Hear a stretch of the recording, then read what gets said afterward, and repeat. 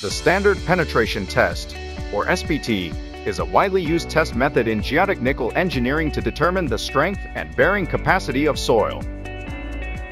Standard penetration test measures the penetration resistance of the soil through a parameter called N-value.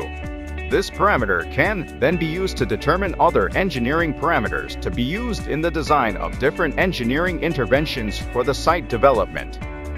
Since many geotechnical parameters are correlated to SPT N-value, every blow must impart a consistent energy to the soil being tested.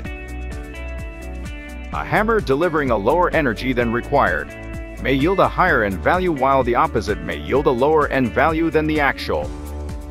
These both entail problems in the design and construction of engineering interventions. The SPT hammer is the key tool used in this test. It is designed to deliver a specific amount of energy to the soil during each blow. One of the ways to ensure that the correct energy is imparted to the soil is ensuring that the hammer's weight is within the acceptable values.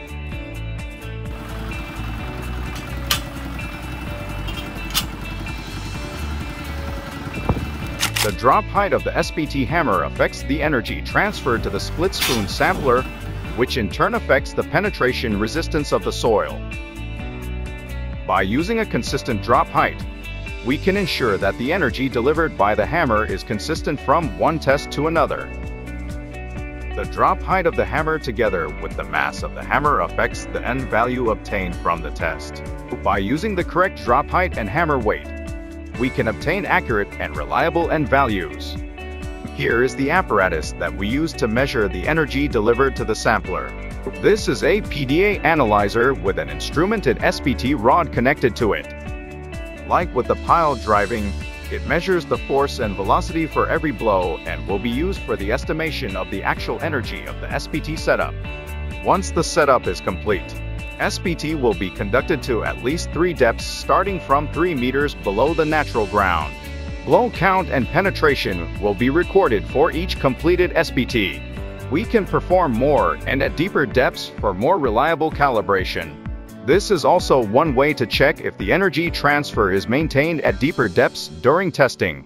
After processing of the data for a particular test hole and test setup together with the measured weight, drop height, and actual energy imparted to the sampler, the energy transfer ratio can now be determined. Here in GPI, it is our standard to maintain the ETR of our drilling rigs to be above 60% for reliable test data, anytime and anywhere.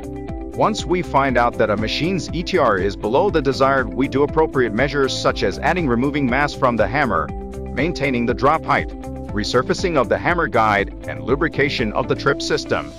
In cases that we do the energy calibration for other companies, we recommend a correction factor for the SPT setup that was tested.